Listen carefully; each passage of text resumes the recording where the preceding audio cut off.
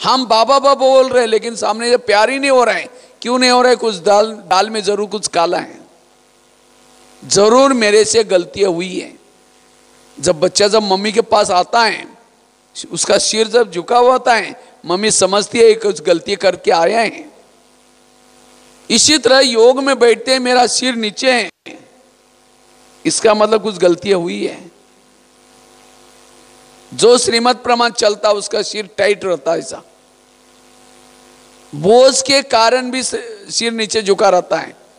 इसीलिए श्रीमत प्रमाण चलने की भीषम प्रतिज्ञा लो।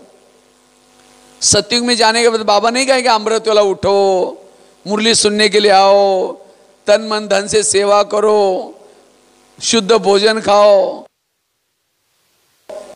नहीं मिलता आपको। इसलिए श्रीमत प्रमाण चलना ज़रूरी है। यहाँ तो कोई बाबा बड़ी बड़ी बातें नहीं बोल रहे हैं। नारियल लेके आओ, मेरे पाँव धुलाई करके ले आओ। आज भगत कितना क्या क्या करते हैं। इसलिए श्रीमत प्रमाण चलने की भीषम प्रतिज्ञा लेने की ज़रूरत है।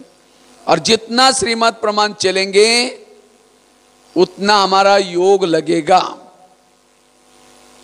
ठीक है? ये दो धारणा बताई। तो और आगे की धारणा फिर हम थोड़ा सा दस मिनट योग करके फिर बाद में सुनेंगे। ठीक है?